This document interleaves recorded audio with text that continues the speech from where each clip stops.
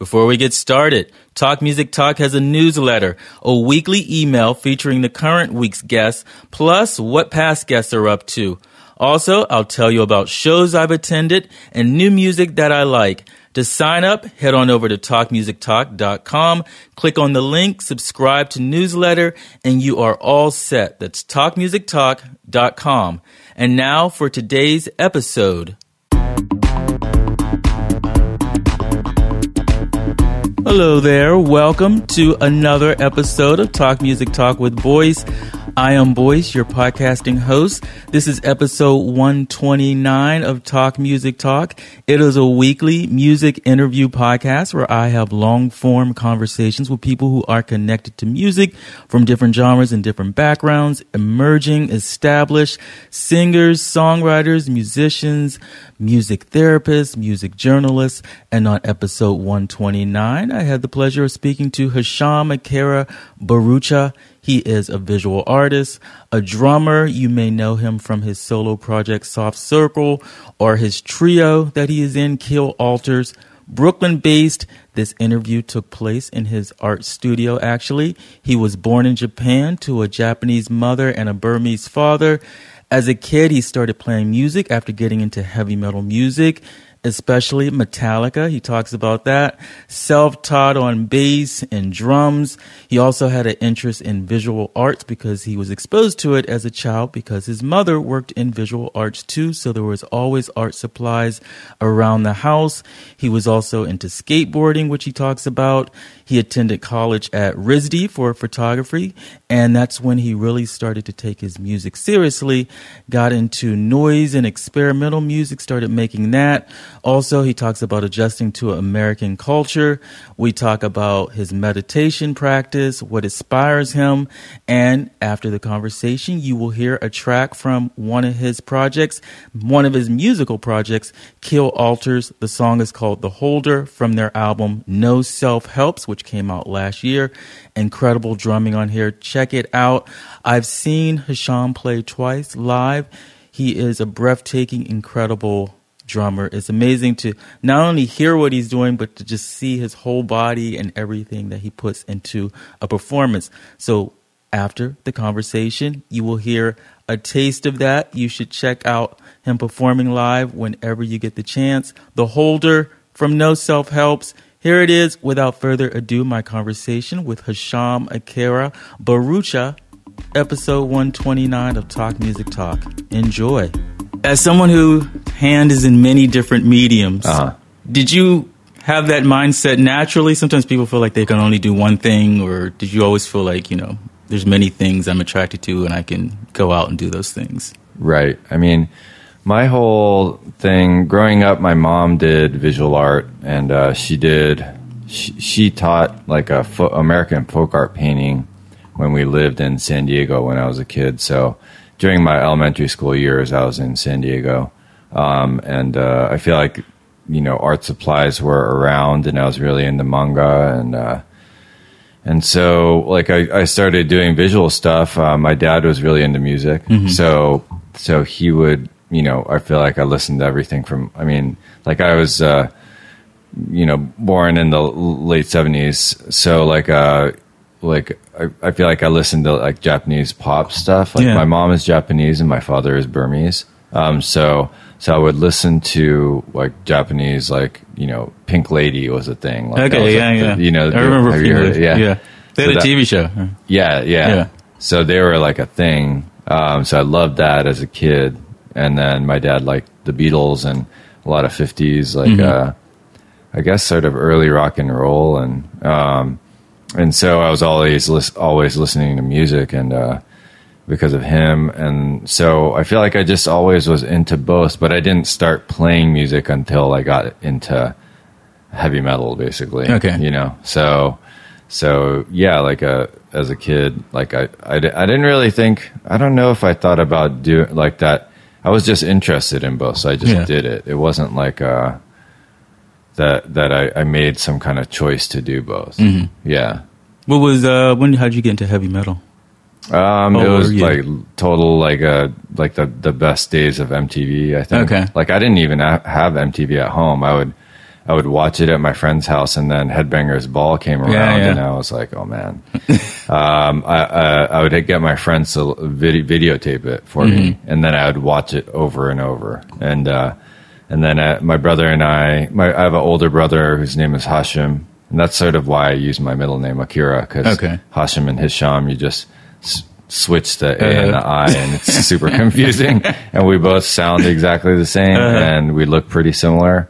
Um, and he makes music too, so it's a it's a it's really confusing. But anyways, um, he like we both got into playing bass because of Cliff Burton from Metallica. Mm-hmm. So it sort of all started with. Uh, I mean, the the the obsession was Metallica, um, but but that started from, with watching like the Cliff 'Em All uh, video that had all this awesome footage of, or kind of terrible footage, um, but awesome um, footage of Cliff Burton, and we were like, we got to play. Yeah. He he wanted to play bass, and of course, I was a younger brother, typical younger brother thing. I just wanted to be like him, so.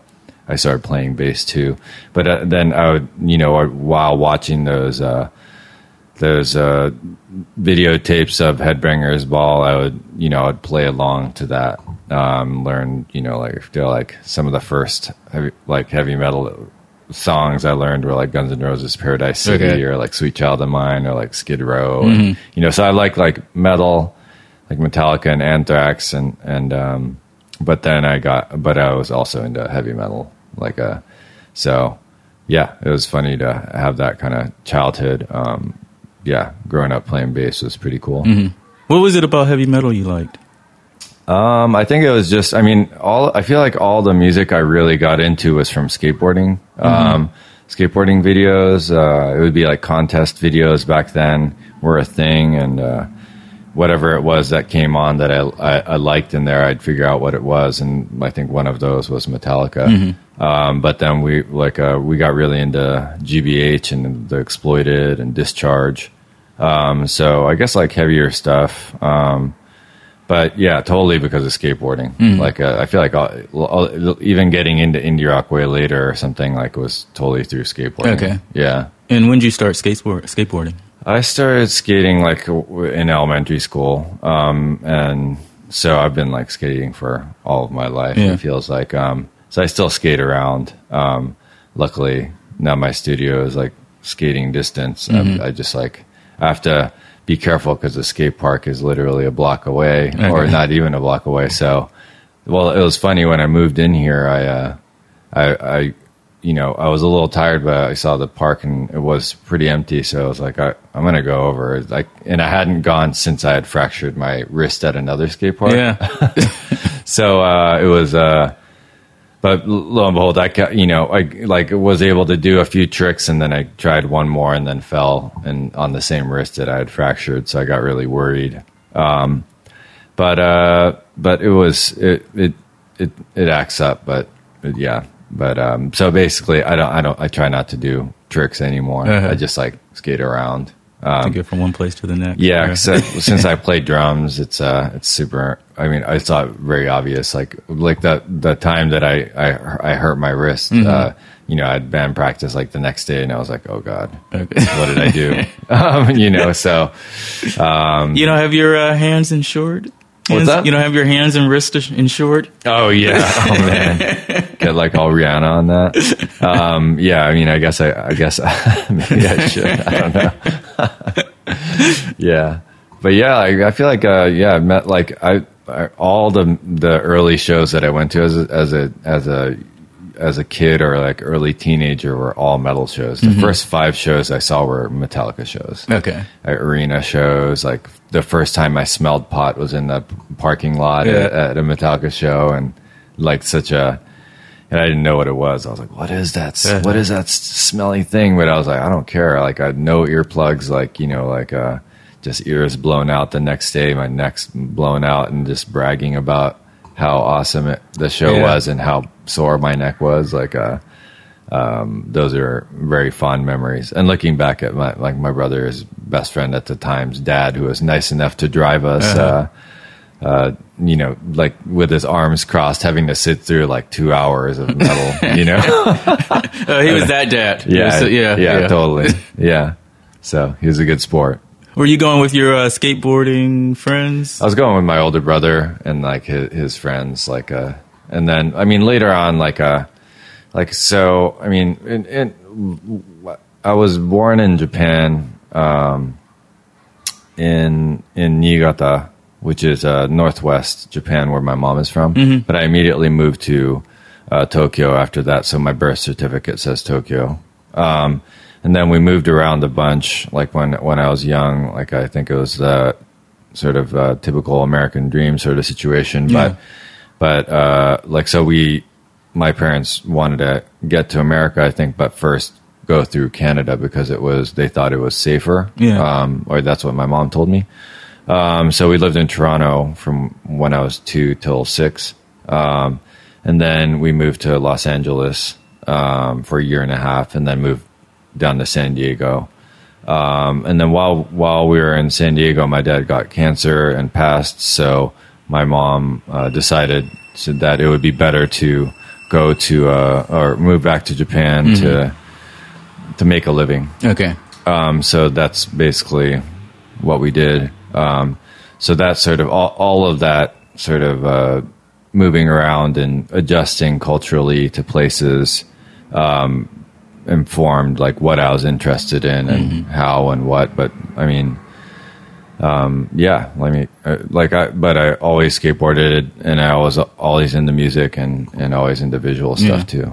How old was your father when you when he died? Uh, I was 10. Okay. Yeah. And how does that affect you, like with the death and then moving around a lot? Yeah, I mean, I, I mean, at the time, I didn't like it. Of course, uh, you know, uh, my dad's death is like the was is still like the I feel like the the reason why I I sort of uh, try to max like I'm kind of a maximalist in terms of living and, and experiencing because of that. You know, Okay. like uh because I know that life is temporary and I know that you know, I I feel like it's just a it's just embedded in me to to try to experience as much as I can while we're here, and then also to as a creator to to make as much uh, of everything that I want to. Um, so that's a it's a huge influence on me. Yeah, Yeah, and it feels like a natural extension of all the different mediums yeah, would extend from that. yeah, Yeah. yeah. Totally. And uh, the Metallic years, the Metallica years, and all that. Was that in San Diego? That was San Diego, and then still into Tokyo. So like, uh, yeah, like, uh, oh yeah, I guess that's where this whole story sort of. Uh, I wanted to lay out the the basics of uh, my uh, my my my physical life journey. But um, but yeah, so uh, when I when I moved back to Japan, I just started to go to metal shows with my friends. But yeah, I guess it was skateboarding friends. Um, but yeah, it's uh, yeah, like uh, I I remember get becoming friends with people, or like this one. Uh, metal girl who I would see right by my high school. My high school was really pretty far from where I lived. Um, I think like uh, like honestly, I don't I like it was a it was a half boarding school and half co- commuting school. Okay. And my, I don't think my mom could afford the the dorms. So, so like uh, I, I commuted, and it was an hour and a half. Um, and, and it was in a part of Tokyo is a sprawling city, and this is like a a place I was in this area, like a Haijima, which is like uh, kind of close to it's close to Tachikawa, so it's like not not central Tokyo. Um, and uh, but there was a like a metal chick that I would always see, and I eventually saw her at a metal Yeah. show. Um, I would just be like, "Oh, she has a maiden shirt on today," or whatever. um, and then eventually, like, uh you know, we sort of became friends, and and like uh she gave me like a some snapshots that she had of like Slayer or Yeah. like her hanging out with all these like like Testament or like you know I saw these like metal bands that I liked. So so that was pretty cool. But for the most part, I would uh, I would just go to um, yeah. I mean, it kind of like my memory. I don't remember who I'd go with because I my, I was so focused on the show. I was Okay. like a such a such a fan. Like I, but I have like very fond memories of like seeing Pantera or something, and uh, you know, in these like uh these different like venues that I used to go to in in Tokyo. And what age when did you start playing bass? Um, that's a good question. I feel like uh, I feel like it was uh, around twelve or 13 or something like that. Yeah, and then yeah, I mean, I feel like I was like uh, I was really into the idea of playing drums I was totally fascinated as a kid. I remember going to see like uh, there was this uh, this saxophonist named Malta, a Japanese uh, Mm-hmm. saxophonist, and she, he, my mom was really into him. It was like kind of like smooth, like kind of fusion Yeah. vibe.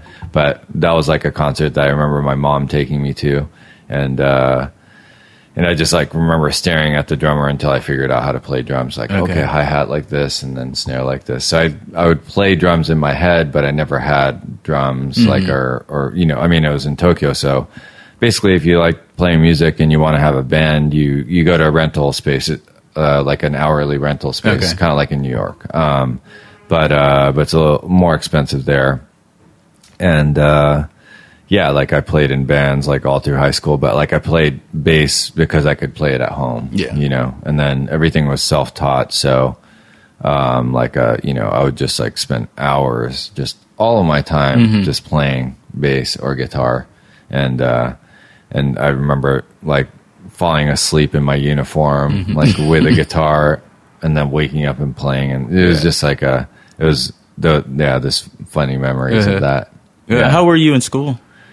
Uh, I wasn't like, super good academically. I mean, I feel like my dad was more academic. He spoke like a, a bunch of languages, and um, I feel like we would feel kind of embarrassed because every restaurant when we were kids, like we would go to, he could speak the language, Yeah. but that, but then uh, they would try to speak to us, and we could only speak Japanese and English. So we were like kind of embarrassed about that, and maybe if he was around, I would have like picked some other language up. Um, but when I moved back to Japan, it was really hard to. Uh, like Japanese high schools only really teach English and and and so and, Japanese of course. So so uh, I just didn't have I didn't have that uh, like outlet. Like I wasn't going to go to I was like going to go skateboarding on the weekend. I wasn't going to go to like a, un, unless my mom forced me, which she didn't. So um, I tried to. I remember trying to take language classes at school because we had a lot of uh, people who lived in different countries growing up uh, but I had like a, a skateboarder friend in high school who was uh, from Brazil, and um, and I wanted to take Portuguese, but it was all for people who already spoke it. Okay. So, um, but yeah, like uh, I, I, I think it was. I, I'm th- talking about this because when I went moved back to Japan, it was like a.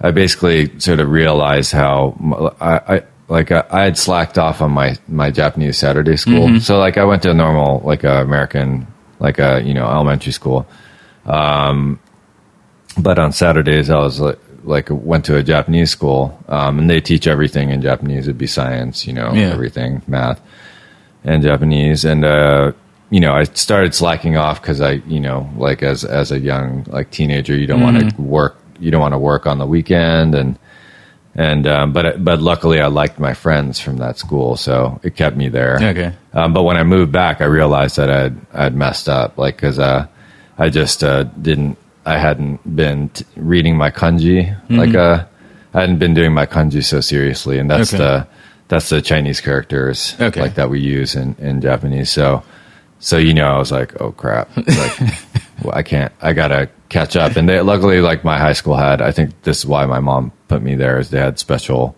sort of like classes for people who had lived in a foreign country before. Um, but uh, but it was hard. Like, and then I I remember in eighth grade. Wait, no, not eighth grade.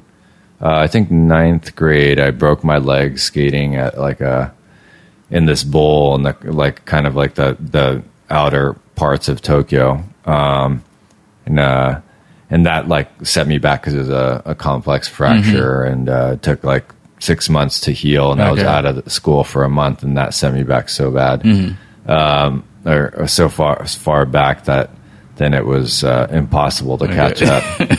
but um, I tried. It was just that you know when I was trying to you know I remember very specific memories of uh, like Chinese history coming up and you know doing Chinese history in Japan it's all in Chinese characters or you know the kanji Yeah. it's the same type of characters as in China. And um and it was just impossible. Like like I, I remember going to like after class to to meet with the teacher because I was so worried I would fail. Yeah. like I was terrified. I remember being so stressed out.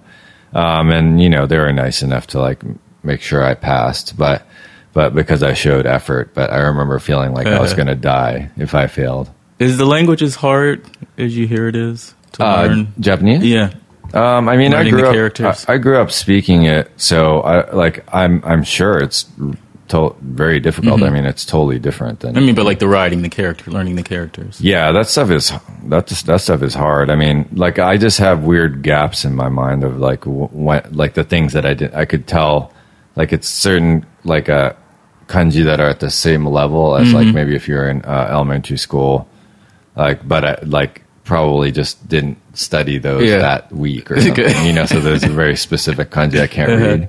Um, but it's yeah, it's hard. I mean, a lot of people that e- I know who even uh, are only speak Japanese can't really read a newspaper because they're like there's so many specific kanji for like politics or Mm-hmm. something.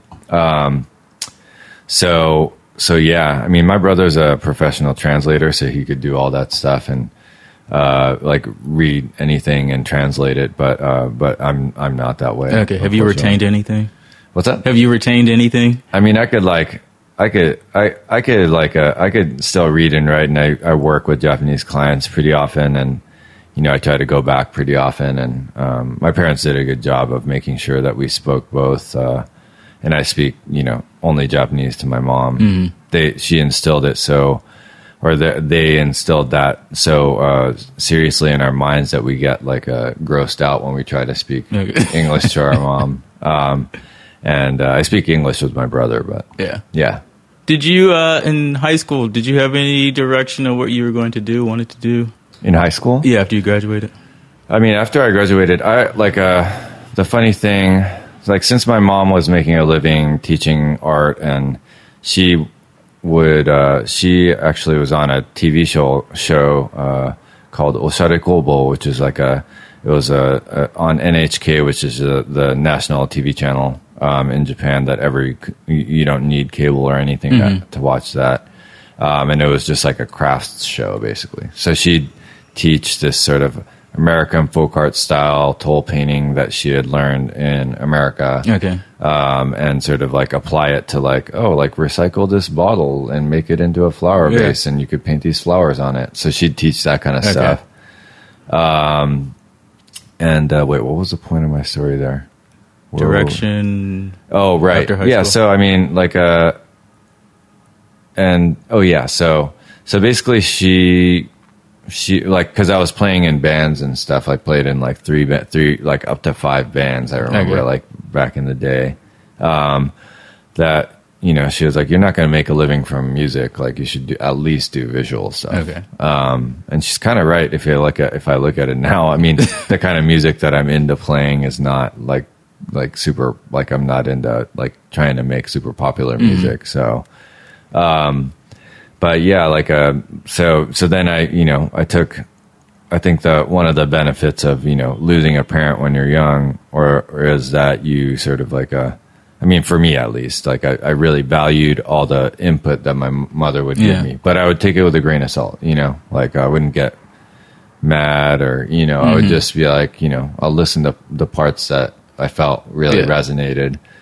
Um, and that one I was like maybe maybe she's right. Um, so but also I didn't want to ruin my sort of image of of music or my the the feeling that music gave me because I loved it so Mm-hmm. much that I didn't want it to get stuck in the rules of like a music school or Okay. something. Not that I even w- would have been able to go to music Mm-hmm. school because I couldn't even at that that point. I didn't even know if I could like uh, read music. Um, like I wasn't practicing it that way. I was just you know everything was self taught. Every everything I learned was just from listening and learning how to play it or watching people or Mm-hmm. Okay. something.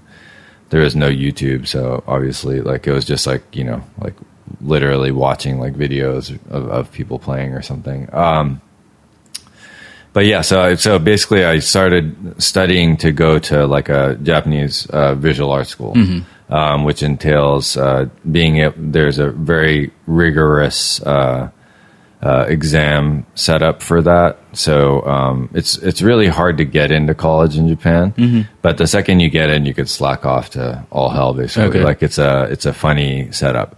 Um, but so getting into even a visual arts school is super competitive. Um, so I went to like a after school cram cram school to to learn um, like realistic pencil drawing and two dimensional design class, basically. Um, and I was terrible. I didn't like. Uh, I wasn't like taught how to draw Yeah. that way. Um, and all the kids had been doing that because you know, as Asian families do, they make you focus at an early age, and then um, you start doing that to try to become like a perfect in in that to get into the most prestigious uh, prestigious uh, school. Um, so so I was going to this cram school trying to learn like this this realistic drawing and stuff, and um, I just realized that like uh, in Japanese schools or art schools, like if you go into say like graphic design or something, you're not really allowed to take classes outside of that major Okay. um, and I didn't. I guess I just ar- already had some kind of instinctual um, thought that I wanted to try all kinds of stuff then, um, and I knew that American schools were more open, so I had like a pretty open-minded, uh, like younger, like a English teacher, um, and uh, I think his name was Will Fahey, um, and he was super nice. He even took me he like went with me to like see Fishbone when we were in high school Yeah. together. It was like good memories, but uh, super good guy.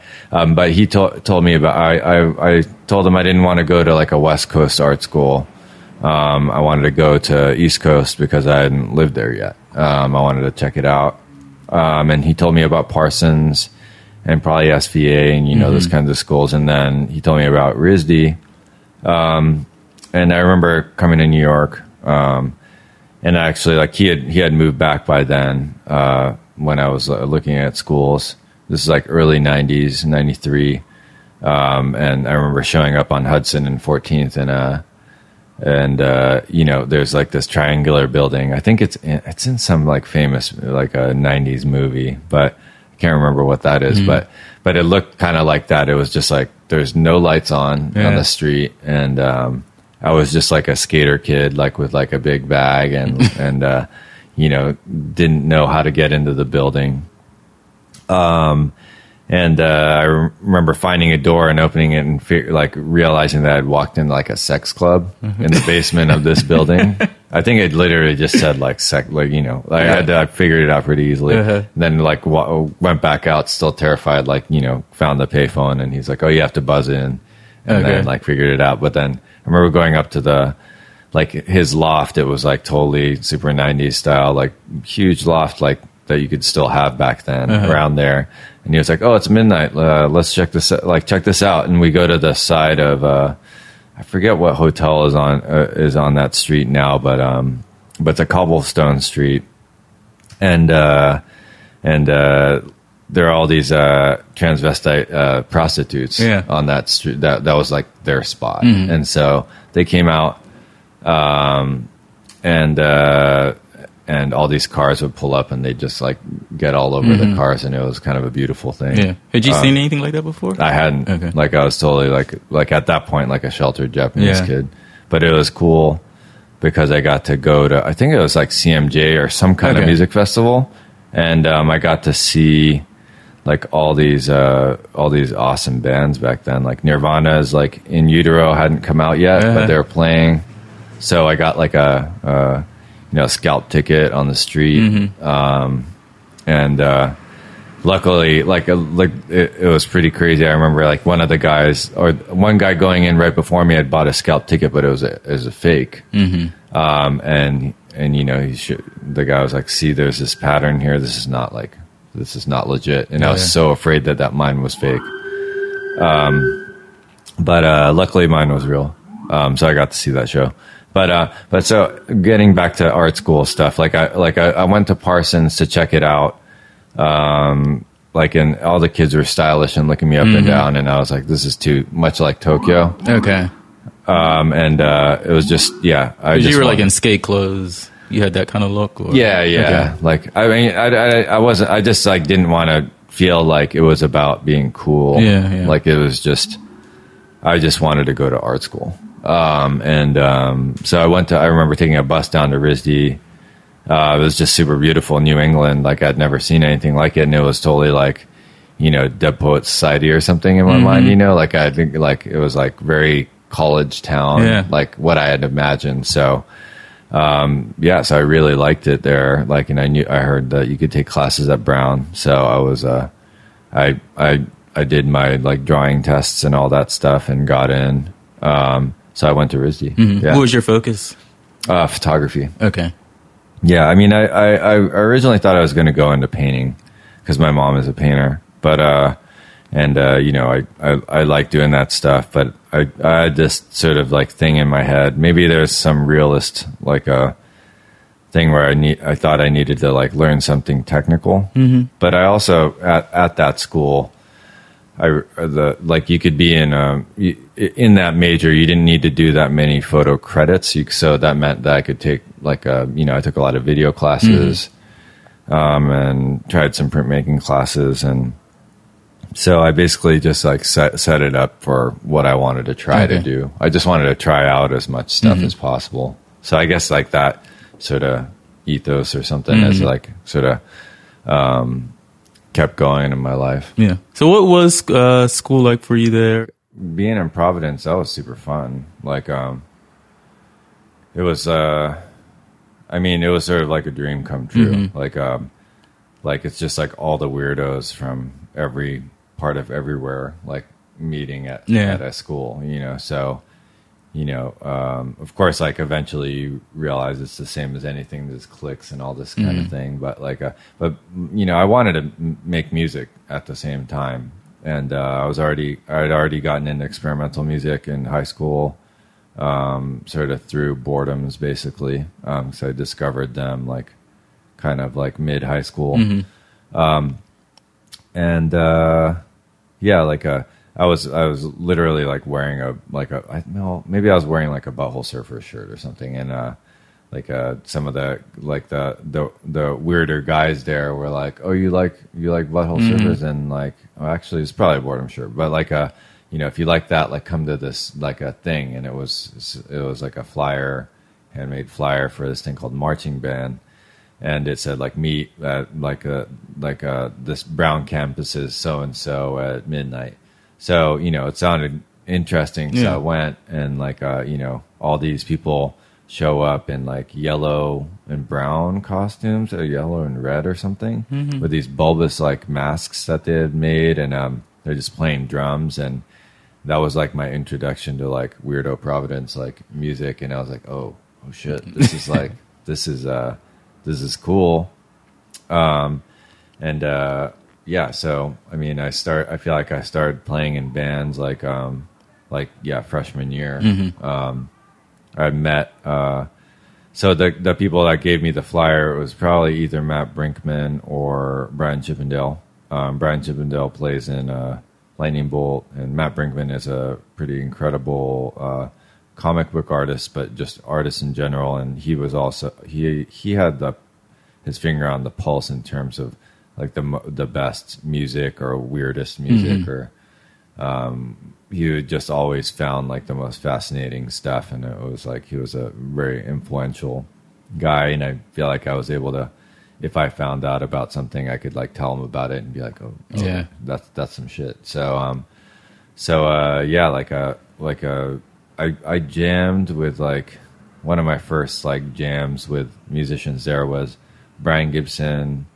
um, from Lightning Bolt playing drums, and then this guy Christy Karacas, who's a amazing animator now, um, and uh, I can't remember who else was there, but we just j- jammed in the basement of the the refectory, the the cafeteria at, at RISD, and um, and I was doing like noise vocals then, like uh, I had like all these effects, and I'd just do like weird vocals, Yeah. which is totally influenced by I from Boredoms and um, and some other sort of like uh, bands that did like you know effects on vocals. Um, and um, Christy, I remember Christy saying, "You should play with Lightning Bolt." It's like Brian and Brian and another guy named Brian, and so that just sort of led me to like just go jam with them. And then I eventually joined that band, um, doing noise vocals and like extra percussion and stuff, and that was like the the first band that I joined in in Providence, um, and it was the best because it was a the band was so tribal, and and like we could play a house house party and people every every type of person would start dancing immediately. Okay. So it was uh, it was just like a, a hit from the very beginning, which is kind of crazy. Um, so yeah, that was I got kind of got spoiled by like starting to play in that band at school, but it was super fun. Yeah. So experimental music was that something that you liked right away? Did you have to? Yeah, I mean, Learn I, it I to mean, like it? I mean, I don't, I don't, because I grew up in Japan. I was just exposed to it in a like. I, I definitely got. I so like the story is like I went to see Helmet play because I was still in my metal phase. Mm-hmm. Um, but they were the first metal band that I saw, or you know, what, what I thought was metal. Still, um, like the, the the first band was short hair that I saw, and that would tune their own instruments on stage. You know, like um, it was like that level. Like I was still like, wait, what? They're, that's the band? Yeah. I thought those are the in, the the tech guys Yeah, or yeah. But like at, at that show, um, there was a, a hardcore band that opened called Concrete Octopus, and um, Eye from Boredoms was in that band, and um, and so he comes out of the audience just like screaming with like a knit hat over his whole face, and you know he's just like yelling concrete like over and over as he like gets to the stage, and then they play these like uh, you know, like seven second songs. Um, and in Japanese uh, hardcore bands, they announce the song, they announce the band name, they announce the song, they play it, and then they keep doing that. Okay. That's like a, uh, or they keep announcing the song, and that's like a, a Japanese hardcore style. And um, and it, I was just like immediately fascinated. I was like, this this is this is better. Yeah. I want I want to know more about this. And then another one of my friends was like, well, he's in this other band called Boredoms, and then we just all got obsessed with Boredoms. Um, like it, I did all the artwork, and it was like so psychedelic and cool. Um, and uh, like you have to keep in mind, I'm in Tokyo, so I don't even know what like I don't know what drugs are. like I had yeah. no idea. Like I I didn't smoke weed until like I was in my 20s. Mm-hmm. Like I didn't know about drugs. I didn't even it didn't even cross my mind. They're hard to come by, or Yeah, and you're just not exposed to it unless you're like a bad kid. I Mm-hmm. Okay. wasn't. I was just like you know. I mean, in high school, I was like a straight edge kid, so Mm-hmm. I definitely wasn't looking for it. Um, but like, um, but yeah. So like, I yeah, like uh, but basically, like I got into experimental music through that, and then I got into this band Ruins, um, and that's why when I heard that like Brian and Brian were doing this like uh, you know bass and drum thing, I was like, oh, it's like Ruins. Um, but then and and with all these Japanese sort of like crossover, like uh, you know, still kind of rock, but like experimental e bands, like they they always had this sort of like non non lyrical like vocal style. Okay. and so I just took that on. Um, it's, it wouldn't be like it wouldn't be lyrics; it'd just be like sounds. Um, and that was like a huge yeah. That was like those are good times and th- like going to so if I then I started to go in, going to smaller club shows then that's how I started to hear about all these different bands and and more noise music and and so I had already gotten into noise music at the end of school like I just like I just liked it Yeah, I would yeah. just go to like HMV or Tower Records or something in Tokyo and just like if I the Japanese record stores are really good about writing descriptions. So I'd just read a description and I'd buy it. Mm-hmm. Okay, based on know? that. Yeah. So, um, yeah, like I, that's just sort of how I got into it. I didn't really have any problem with. Mm-hmm. is there like it's you have a little, a little more freedom and openness, less rules than say metal?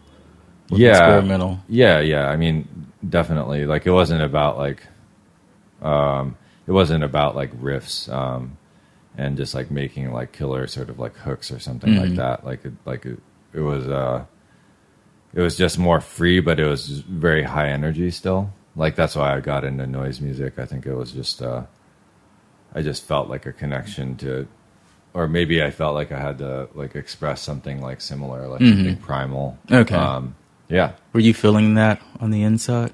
I mean, I must have been. I feel like I was kind of like a depressive like kid in, in college. I mean, I definitely was in, in high school, but then I remember, or, or or at the end of junior high, it was sort of like what you know, cultural things that I was dealing with by moving back to Japan, like uh, you know, why why are well, why are we alive, and then why why like what are all these cultural differences, and like what like the I don't like these parts about Japanese culture, and then you know, but I So, but then I met people who had lived in both places, and they're like, you know, you don't have to like be like that. You could just like accept. You could still be yourself and just like express yourself like uh, how you feel you need to.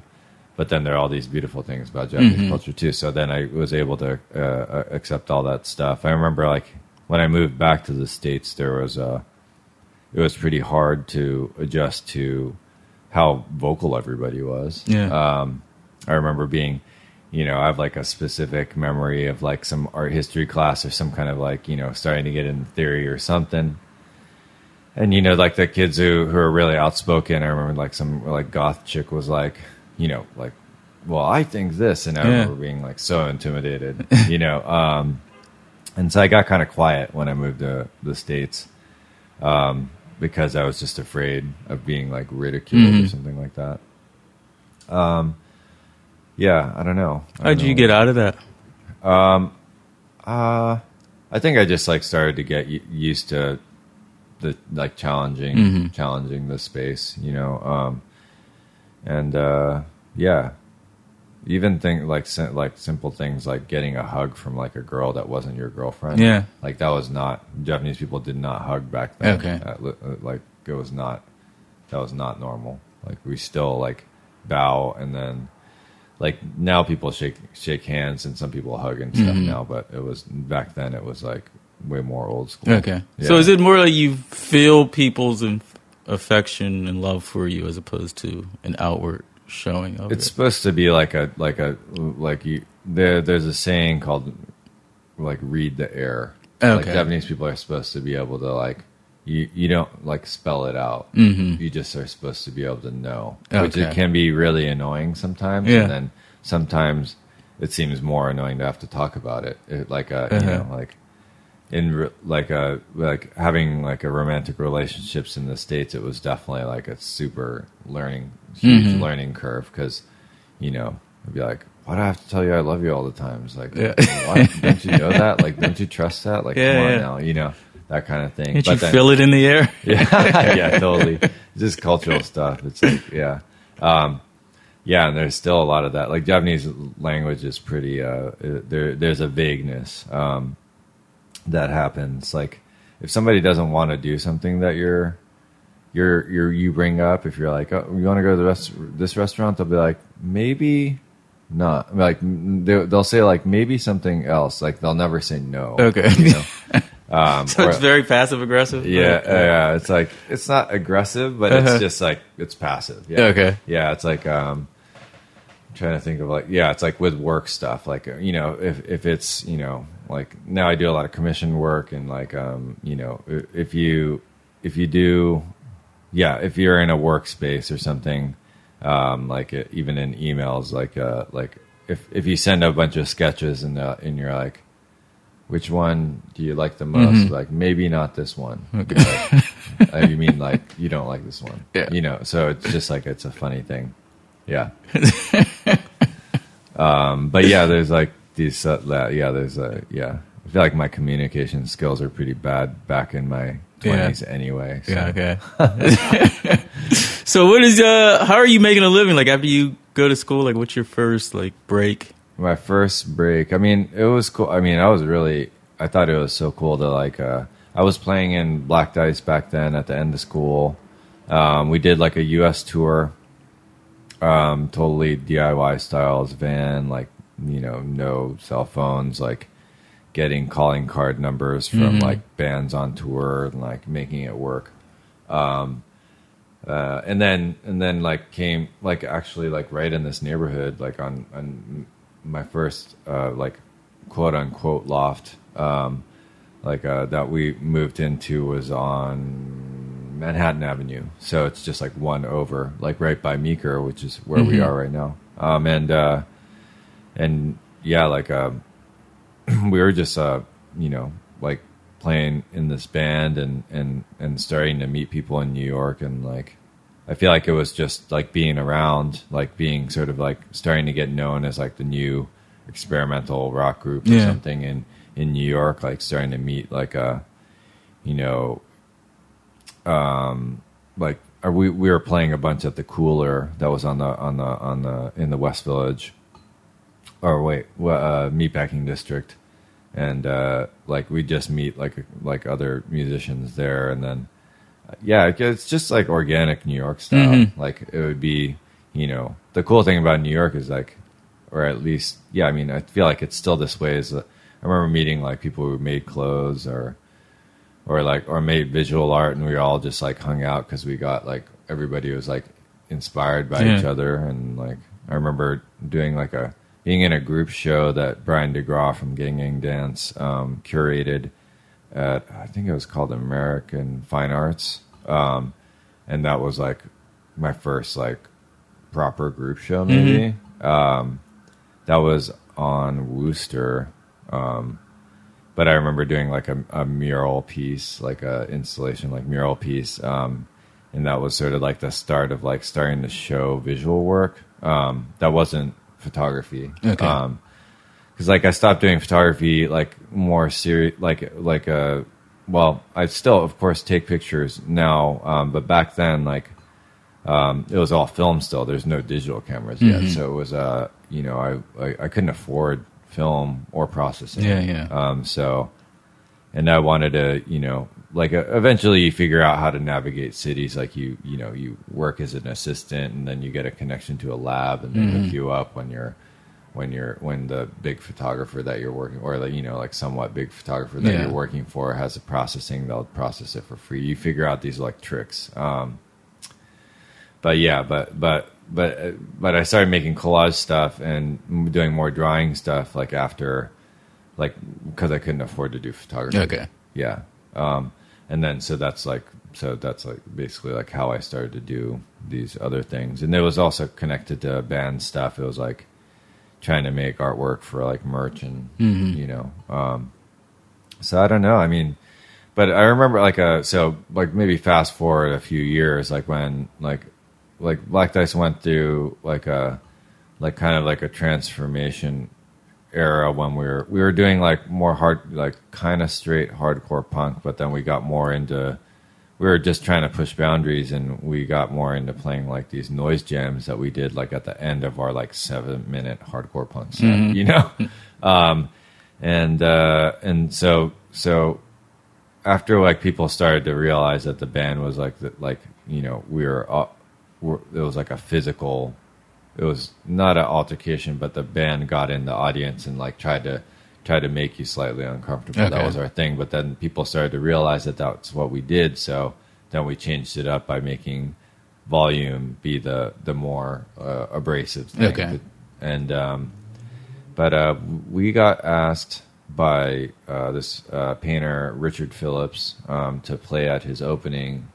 That was uh, maybe it was 2000. I think it was 2001.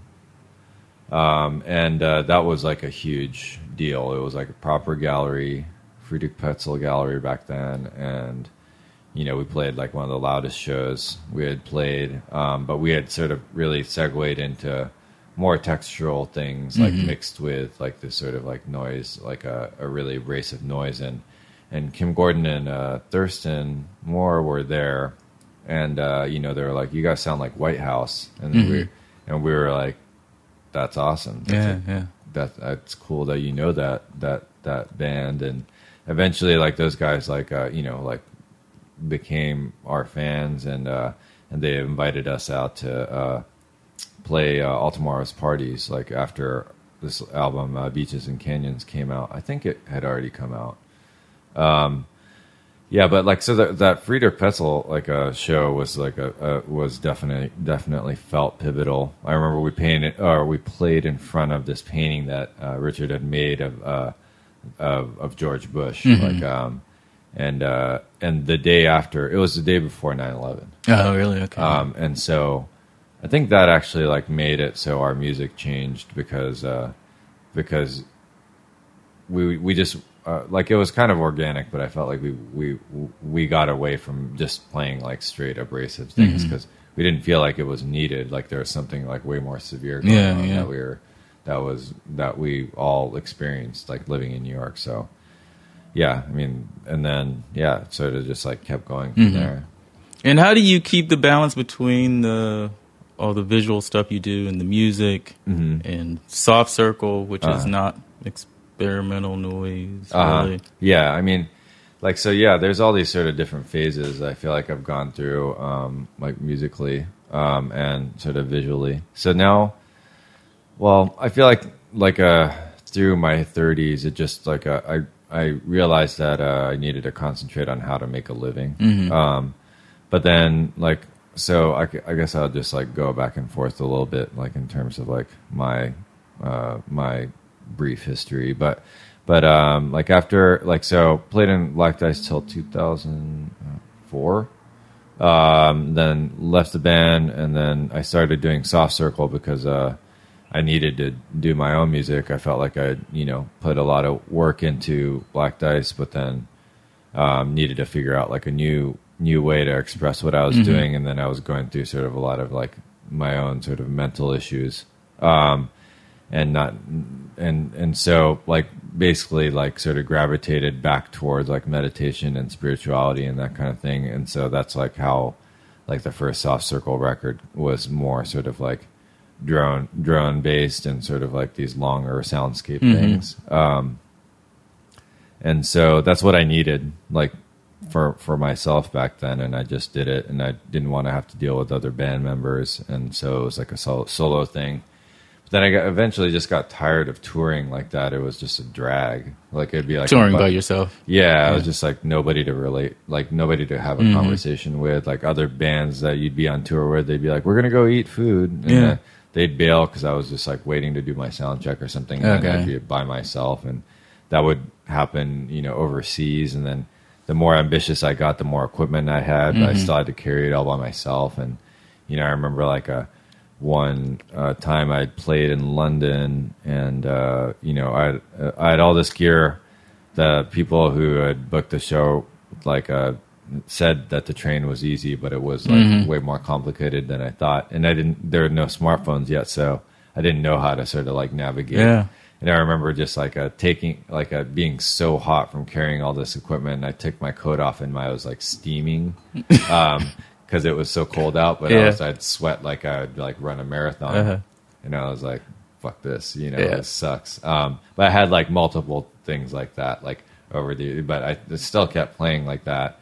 I remember doing South by Southwest like solo, and then having friends have to watch my equipment and like having to get driven around because I didn't have a car, and then like some stuff getting stolen because I couldn't like you know it's just one person like you Yeah. put one thing in one place you can't you know unless you like have somebody watching it, and that that was like kind of like another one of the last straws.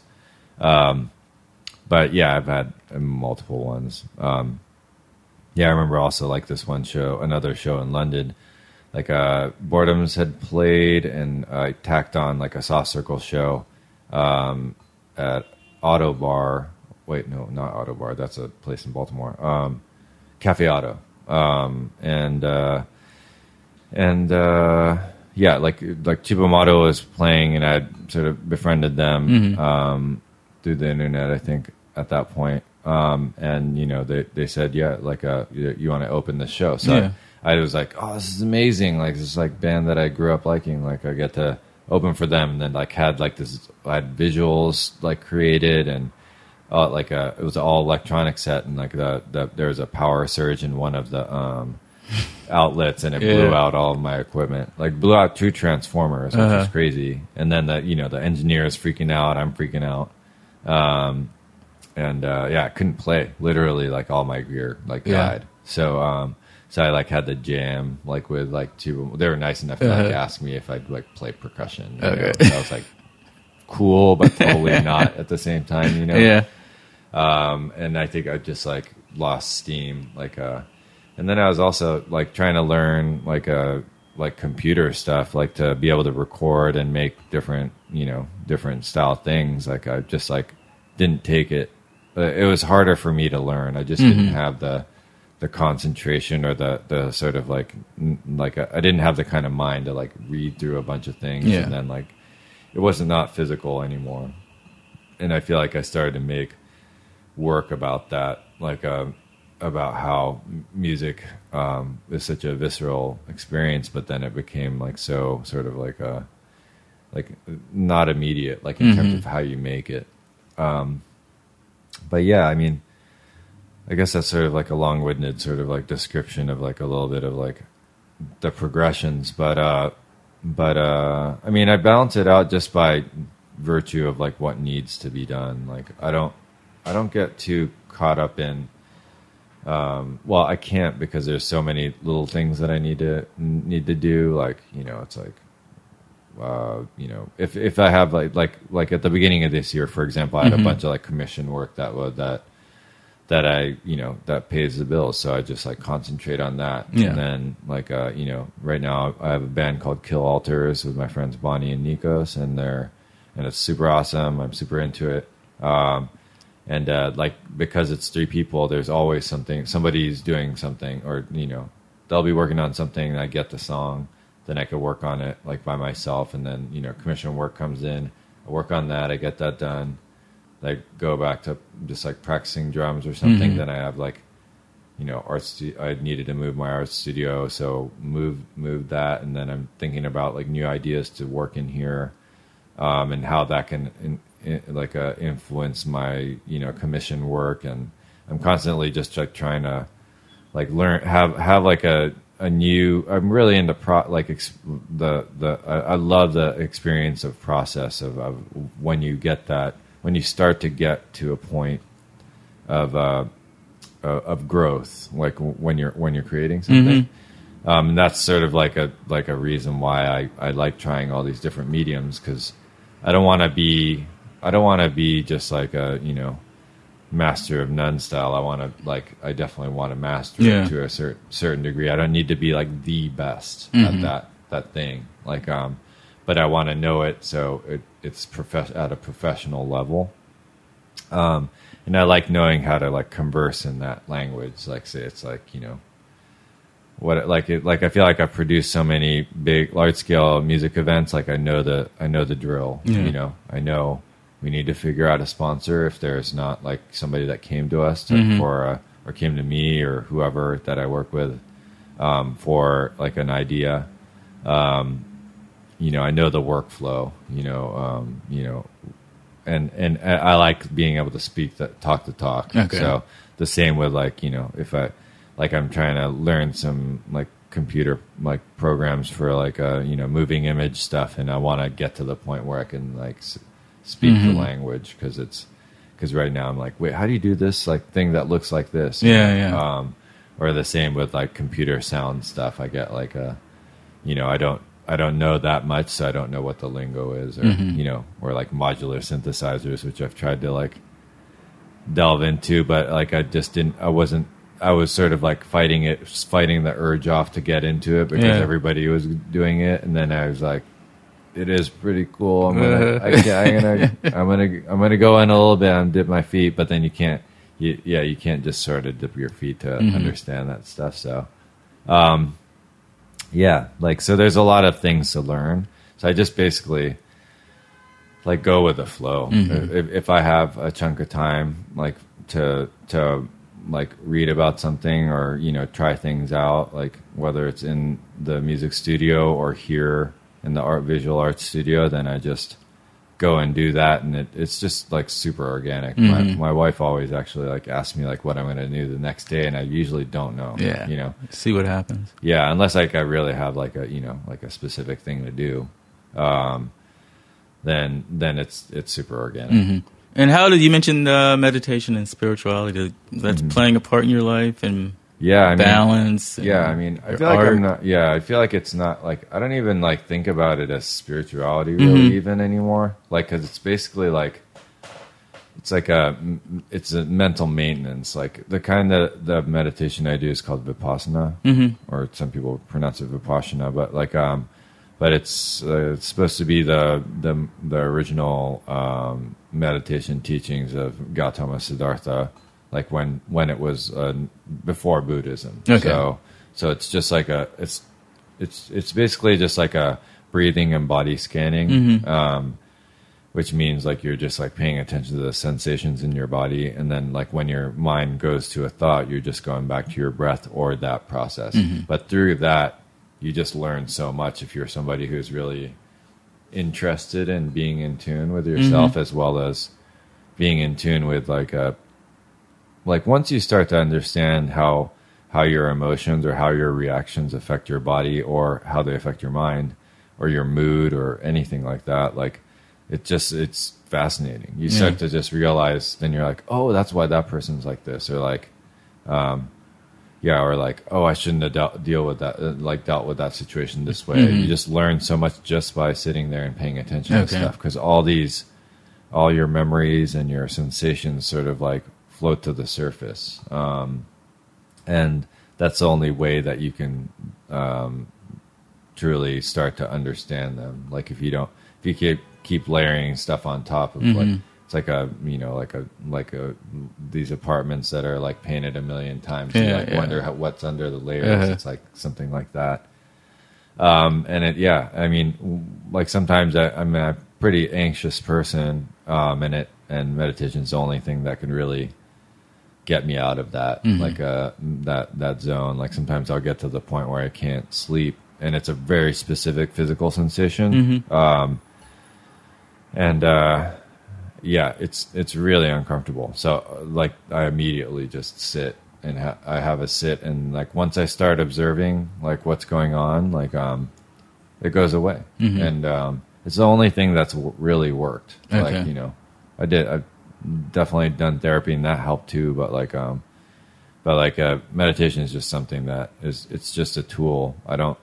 I feel like I'm I'm not I'm not imagining anything. I'm I'm just seeing what I'm seeing. Okay. You know, but I do get a lot of sort of like visual cues from it. Like because I think when those layers are being um, taken apart in my mind, um, like these sort of like glitches of visuals will, will show up. Like um, in my mind, and that's sort of like a lot of where like my work comes from Okay.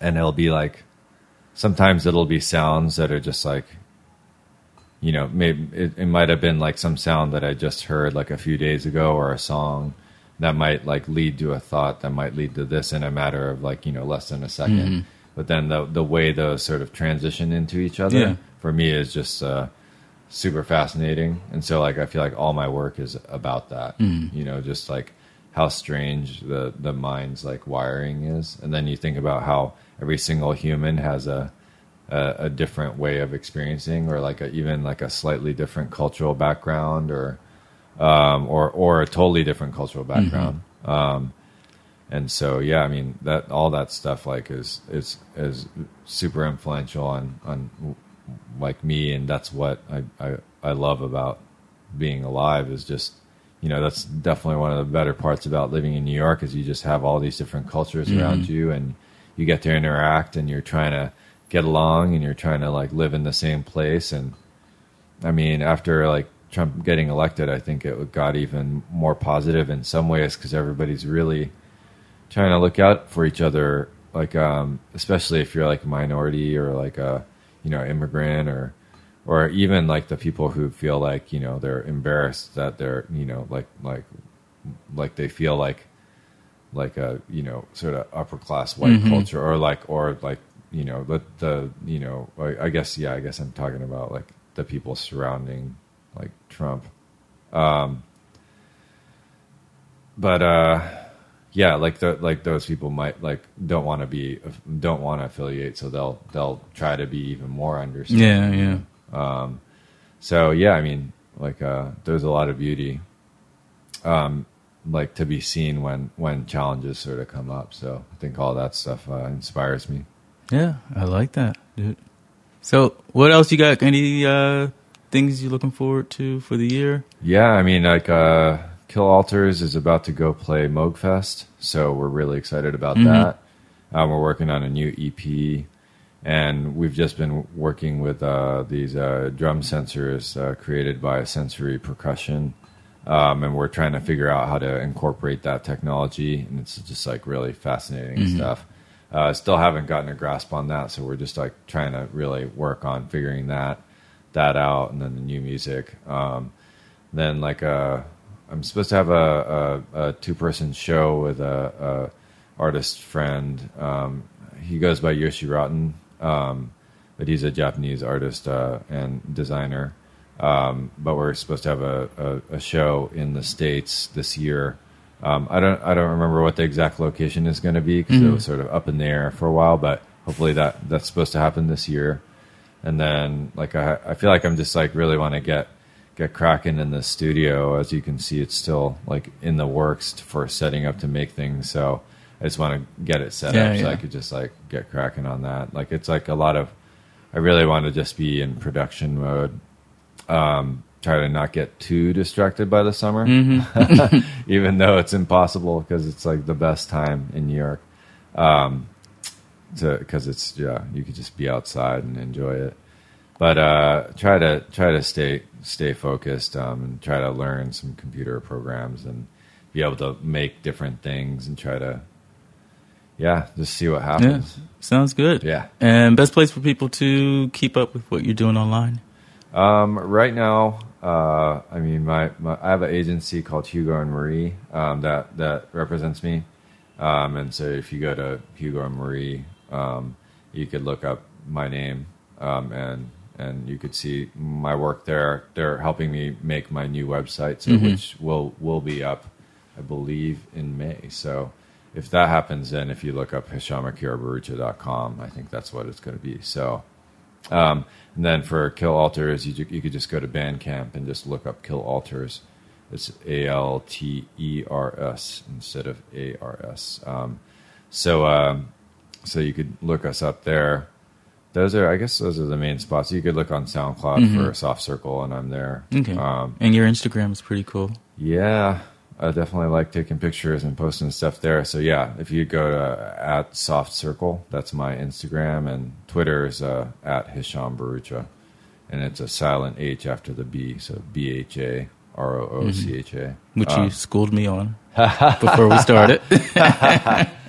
yeah, cool. But yeah, and I will put all that in the show notes. Yeah, sounds good. Thank you for doing this. Yeah, thanks for thanks I for asking me to do it. it. Yeah, sure, sure, super fun.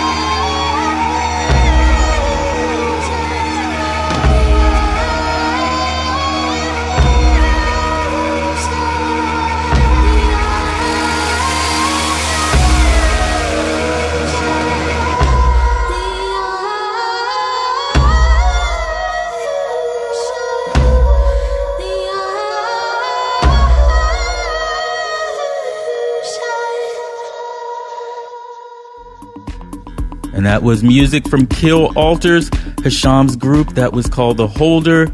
Also in Kill Alters are Bonnie Baxter and Nikos Kennedy. In the show notes, I will put the links to his music and his art because you should check out everything that he does. I am online several places, talkmusictalk.com for more podcast information. I have a personal website, which is thisisboice.com. You can check out the novels that I write and the music that I make. And if you are on Instagram, follow me there at This Is Boice. Call to action for you download the Talk Music Talk app. It is free for iPhone and Android, and you get every single episode of the podcast wherever you get your apps at. Or you can subscribe to the podcast on iTunes, Google Play, Stitcher, TuneIn, iHeartRadio, and many more places. And if you are listening on iTunes, please leave a rating and or review to help spread the word about TMT. You can also find the podcast on SoundCloud at soundcloud.com slash forward slash this is boice starting with episode 100 and you can also check out my music there soundcloud.com forward slash this is boice and once you sign up for the podcasting subscription all free i have a call to action for you. Another one. Well this is a back catalog suggestion. Check out episode number 71 with Praveen Sharma. That's from March 2016. Electronica producer and artist. Duo project of his is Sepulcure, and then he has a solo project which is called Braille. Talks about all of that. You will get to hear music from him on it. Episode number 71 with Praveen Sharma complements this episode quite well. Thank you so much for listening. Till next time, and there will be a next time. This one's for you, Liz.